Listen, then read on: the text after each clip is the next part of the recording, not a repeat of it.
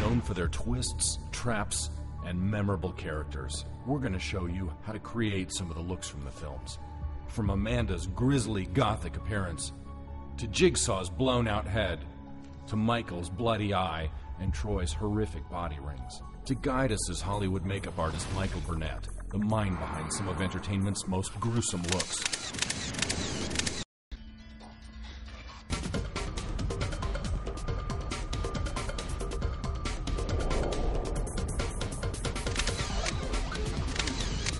So we're going to create the look for Jigsaw, which is essentially a person who has committed suicide and blown out the right side of their head with a gun. You'll need blood gel, liquid blood, a mixture of baby rice cereal and the liquid blood, bruise colors, and hair gel. We're going to start by taking some of our makeup and use the blood gel to create the wound on the side of his face. And this is one that I made. I'm going to put this right into his hair.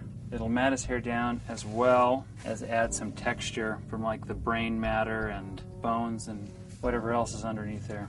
To create the brain matter, start with some baby rice cereal, add liquid blood. Just add a little bit at a time until you get the consistency you want. Stir it as it thickens up.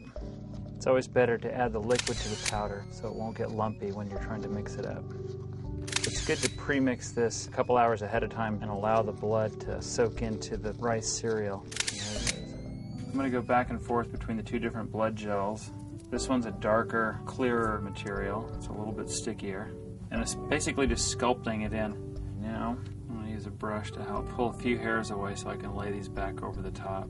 Basically, with this effect, I don't think you can use too much blood.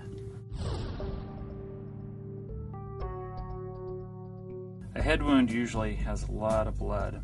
For this one, I'm going to just leave some open areas where the really dark, regular blood gel comes through so we can see the different textures. And sometimes your finger is the best thing to get it where you want it, so I'm going to just give him a few more splotches. I'm just going to give him little random bits of blood. Then I'm going to go in using the bruise colors. So again, a little more dirt smudges. Do the same thing with the spritzer. I'm not going to spritz above his eye because I don't want that blood to run into his eye. Finally, give his hair a little bit of a greasier feel. Just let it kind of stick into the blood. Okay, I think we got him.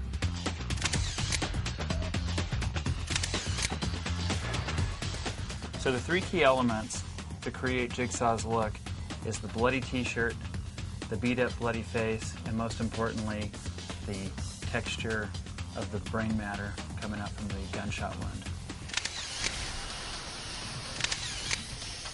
By following Michael's techniques, anyone can transform themselves into one of the horrific characters from the Saw world.